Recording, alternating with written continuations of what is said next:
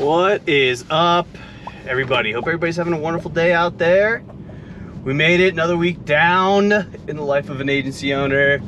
This year, I was kind of looking back, like, I'm not really sure what happened in April, uh, March. I remember a couple things that happened, but this year is ripping by.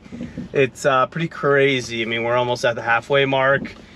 So, yeah, I think checking in for us internally, checking in on our goals, making sure we're hitting um, our numbers, where we are at the half year point that we're coming up on here in like 15 days, right? Yeah, 15-ish days, 15, 16 days.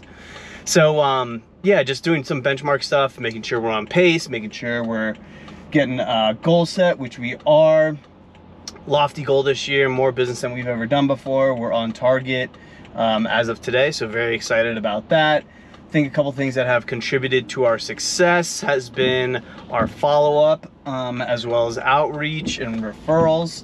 We've been uh, very consistent on the outreach and very consistent on the referrals and very consistent on the follow-up.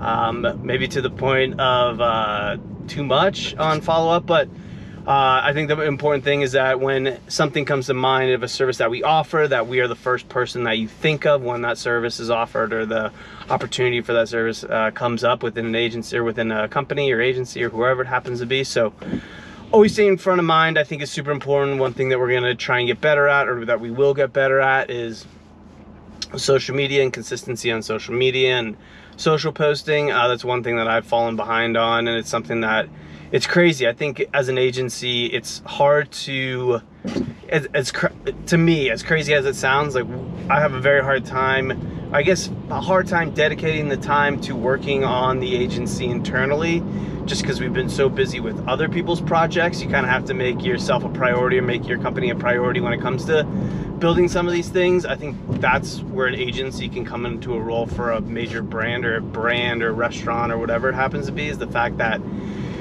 you're dedicating a set of time, a set of hours to a project or to a task. You're putting someone on that task to complete it. So I think that, you know, while the concept of an agency might seem outlandish or might seem, you know, without of reach or not something that you're interested in, uh, I think finding, then, then dedicate an hour or two or a couple hours each week to figuring out what your social content is, dedicate a person to that, um, you know, whoever it may be, creating content, fulfilling content, answering questions online.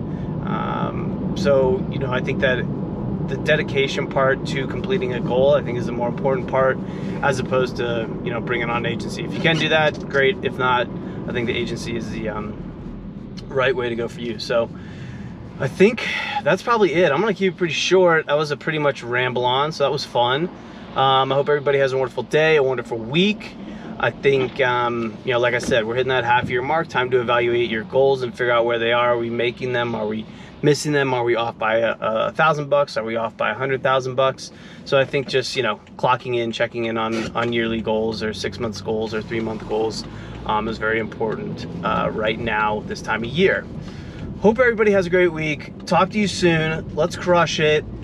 There's no reason not to really. That's, that's kind of all I gotta say. Have a good one. Let's go.